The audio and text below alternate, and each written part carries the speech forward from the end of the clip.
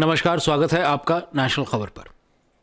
अभी एक खबर आई है महाराष्ट्र से, जिसमें ये कहा गया है कि तब तक ये नहीं माना जाएगा कि किसी भी तरह का जो है यौन उत्पीड़न का या सेक्सुअल हरासमेंट का केस लगाया जा सकता है जब तक स्किन टू स्किन टच ना हो। ये बात जो है जितनी बेतुकी है, उससे ज़्यादा बेतुकी लगती है, जब मैं आपको बता रहा हूँ खुले शब्दों में।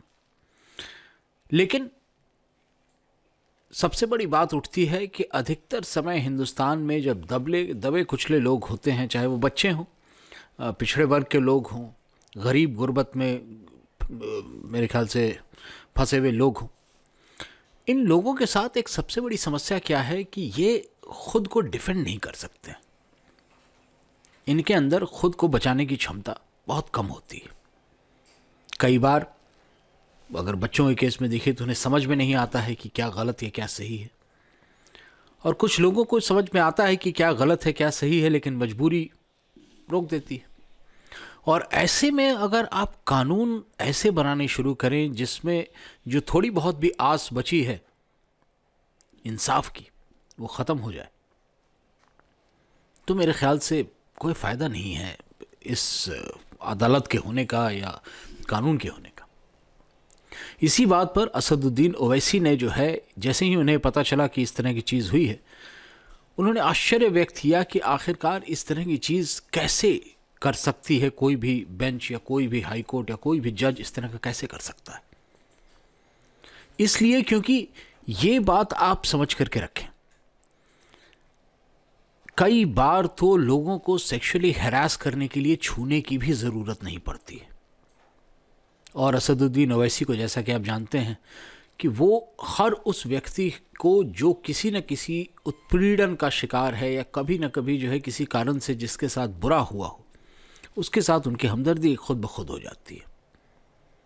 जिसका आप अगर उनके लोकल कॉन्स्टिट्यूंसी में जाइएगा तो वहाँ से मैंने किससे सुने हैं कि किस तरह से जो है वो हिमायत करते हैं, उन लोगों की तरफदारी करते हैं, मदद करते हैं।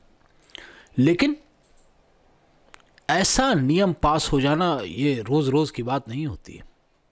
और जब इस तरह के नियम पास होते हैं, कोई ना कोई तो आवाज़ उठाएगा।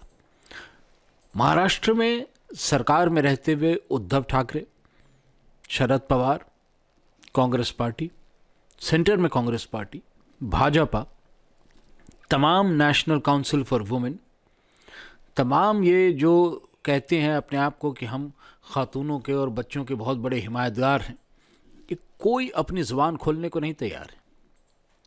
क्योंकि इस तरह के केसेस में अधिकतर समय इनकी पार्टी के लोग भी फंसे रहते हैं। वैसी हालत में अपनी पार्टी के नेताओं को बचाने के लिए इस किस्म के लॉ लाते वक्त मेरे ख्याल से उन्हें कोई एतराज़ नहीं होता।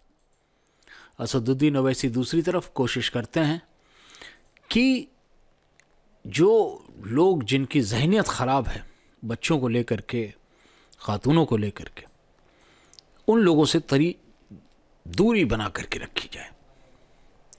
और यही जो है मेरे ख्याल से इनके लिए आसान है बोलना, क्योंकि ये किसी से कि इस किस्म के किसी लोगों के साथ न राफ्ता रखते हैं, न वो इन तरह के जो है लोगों के हाथों बिके हुए हैं। तो असदुद्दीन ओवैसी की जो बात है कि औरतों को और बच्चों को महफूज रखने के लॉ आने चाहिए। ये उन्होंने साफ़ कह डाला है। और ये भी कह डाला है कि इस किस्म के बचकाने लॉ जो हैं वो स्क्रूटनी ऑफ़ टाइम नहीं देख पाएँगे। वक्त के साथ जैसे ही इन पर इनको कसौटी पे रखा जाएगा उसी समय पता चल जाएगा कि, कि लॉ खरे नहीं खोटे हैं। आपका क्या सोचना है इस लॉ के बारे में जो अभी आया है सामने हमारे? ज़रूर लिख करके बताएँ हमें कमेंट सेक्शन में। और अगर चैनल आपने नहीं सब्सक्राइब किया है तो एक अल्तज़ा है आपसे कि चैनल ज़रूर सब्सक्राइब कर लीजिएगा। बड़ी कृपा होगी। धन्यवाद।